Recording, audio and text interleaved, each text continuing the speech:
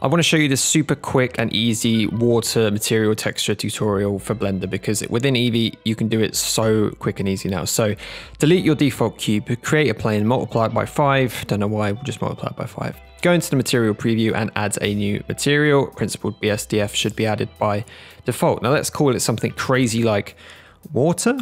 Yeah, water, that'll do. And what we're gonna do is add a new texture, Musgrave texture, vector, bump, connect the height to the height and the normal to the normal.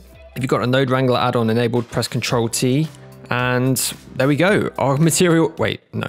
Okay, we're not done yet. So what you need to do now is just play around with the scale. And this is what's gonna change it from being either an ocean viewed from far away or a sort of close-up view on a little pool. So adjust the scale first. I'm gonna play around with the lunar, lun, lunasic, lunarity, lunaracity, lunaracity. And that's going to change the sort of scaling of the texture that we've got here. Put the dimension to 0.8 or something, increase the metallic up towards one, change the HDRI for no reason whatsoever. And here we go. Let's decrease the strength of the normal.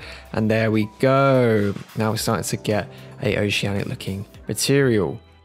Looking really nice, but it's a bit too golden. So let's go and change the color to something blue because water is usually a blue color.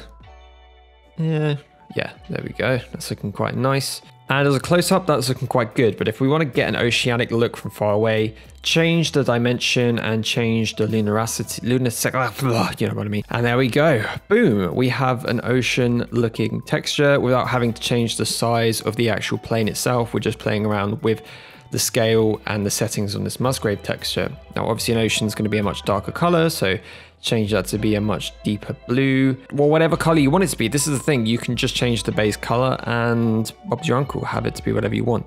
But how do we animate this? How do we actually make it look like an ocean? Well, on the mapping node, right click on the Z, do insert keyframe, move along to however far you want, and add another keyframe, move it along to like one meter or something. Add another keyframe, right click, make sure it's linear so that it's constantly moving, and there we go. We've got a nice looking puddleness, but mm, we want it to actually move from left to right. So now turn your attention to the Y value, add a keyframe there, and then, wow, amazing. So, so beautiful. It looks like a real ocean. And there we go. If we hit play now, you can just see it's moving. It's looping pretty much as long as the, the keyframes all align properly.